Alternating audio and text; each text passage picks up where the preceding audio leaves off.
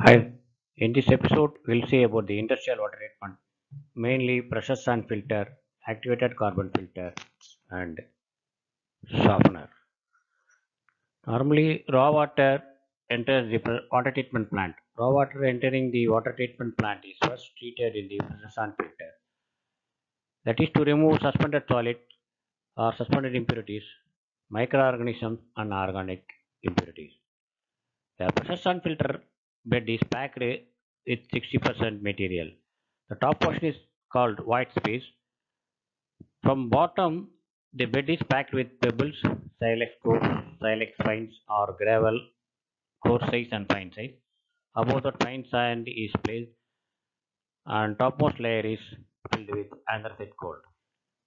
The bed material removes mud, clay, dirt, algae, bacteria, and microorganisms in the raw water, and thereby the turbidity is reduced. The turbidity is measured less than 5 normal turbidity unit in the PSF outlet filtered water. How the microorganism uh, is removed now we can see. Immediately after the commissioning of the sand filter, the topmost layer will be coated with reddish brown sticky deposit. This sticky deposit because of it partly decomposed organic matter which form together with iron, manganese, silica and with algae, uh, sulfur reducing bacteria and protozoa. And this layer is called schmutzdecke or dirty skin. This dirty skin is not only breaks down the organic impurities but also converts them into harmless compounds and destroy the microorganism each other, straining the impurities too. The schmutzdecke uh, dirty skin plays a vital role in all the units in water treatment plant. Sand filter is backwashed once in 24 hours daily to remove the deposited suspended impurities. Sand filter bed inlet is provided either with bell mouth arrangement or with distribution strainers to have equal distribution of water. The distribution uh, will be provided in inlet header as well as in outlet header also. The proper distribution of water is required to avoid channeling of water. Channeling of water is nothing but a water flow through particular path only. To avoid that, equal distribution is required, which is occurred by means of the distribution strainers. The deposited suspended impurities or suspended solids and algae are removed by backwashing the filter once in 24 hours or if the pressure drop across the filter exceeds 1 bar or 1 kg per centimeter squared. Normally, every day in the morning, the pressure filter is backwashed. The backwash procedure is initially the vent is opened and air scouring is given to loosen the bed and then backwash with 1.25 to 1.5 times the maximum flow which is used in service until the outlet water becomes clear. Initially, the algae, all the algae and other dirty materials will come out of the backwash outlet water. Until it becomes clear, you have to continue the backwash. Backwash flow should not exceed more than 1.5 times service flow, as that will affect the schmutzdecke or dirty skin. That will, and the schmutzdecke will get disturbed, and slippage of microorganism will take place unknowingly. The schmutzdecke or dirty skin formed immediately after the commissioning will get disturbed because of the backwash flow, which is more than 1.5 times the service flow. Unknowingly, if you increase the backwash flow to have effective backwash, that will affect the dirty skin layer or deck thin layer over the bed packing. Always keep pressure sand filter bed soaked in water also. It should not get dried out. That also will help the dirty skin intact. This is the schematic diagram of pressure sand filter. This pressure sand filter bed packing this is 60%. This is the raw water inlet line with isolation valve. This is the backwash line with isolation valve. joining the outlet header and this is the air scouring inlet line from the blower vent line this is the backwash outlet line and this is the service outlet line with isolation valve going to the activated carbon filter normally the raw water coming from the raw water pump house will enter the pressure filter top either through bell mouth or distribution strainer arrangement this will water will get distributed equally and it flow through the packed bed material and all the algae, suspended solids, organic matters and microorganisms get filtered and filtered water coming out of the bed. The delta P, that is pressure inlet and outlet difference is more than 1 bar or 1 kg per centimeter squared. Then the pressure sand filter will be taken for the backwash. The delta P is more or once in 24 hours we have to do the backwash of the pressure sand filter. The schmutzdecke arrangement will be above the belt layer. Also, it will form in the inlet inside walls of the sand filter. Also, it will form in the activated carbon filter. We can also see in the other Strong acid cation unit or softener or Strong base anion units. The filtered water coming out of the out of the pressure filter is coming to activated carbon filter ACF which is packed with activated carbon as usual 60%. This ACF is provided to remove free residual chlorine which is due to the chlorination or uh, dosing bleaching powder hypochlorite uh, solution in raw water to kill the microorganisms. These organic and organic compounds which is coming along with the water and also coloring matter. Coloring is coming to through algae. Also, some suspended solids and algae slip from PSF will get filtered by ACF. ACF also should be backwashed once in 24 hours to remove the deposited suspended impurities which carried over from the sand filter. ACF outlet branches is going to softener or strong acid cation unit.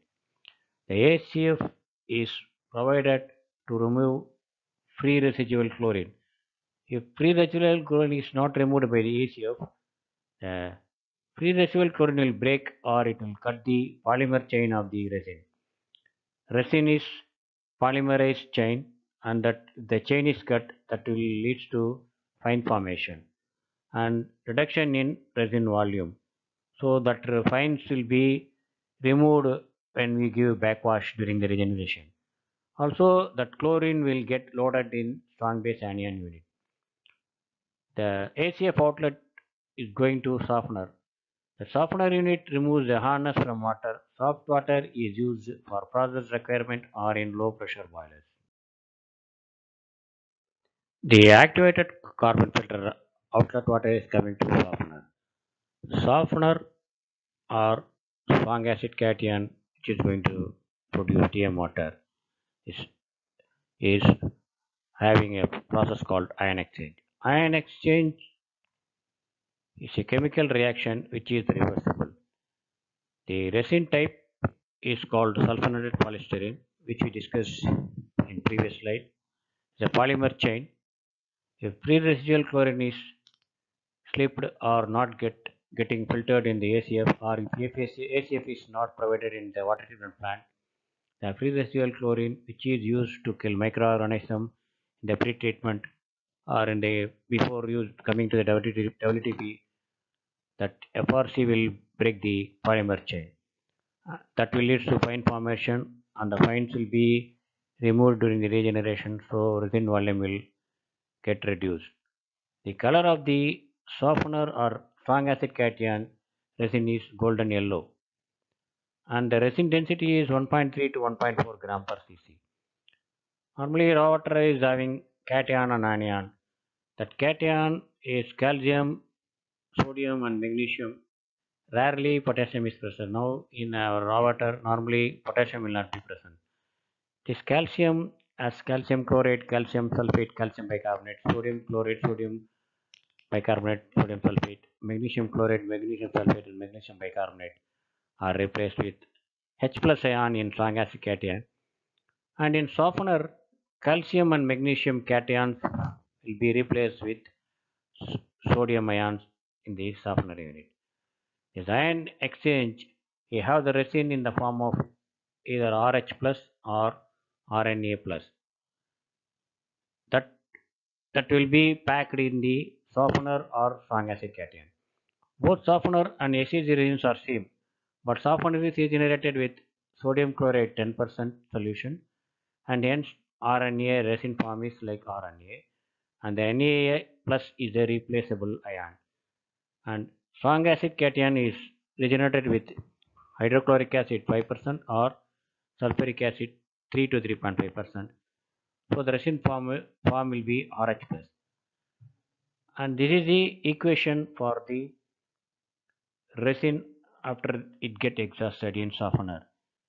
When calcium and magnesium get absorbed in the bed that is replaced with sodium, the resin form will be R2Ca and R2Mg. Normally we will not allow the bed to exhaust completely when the yield is there.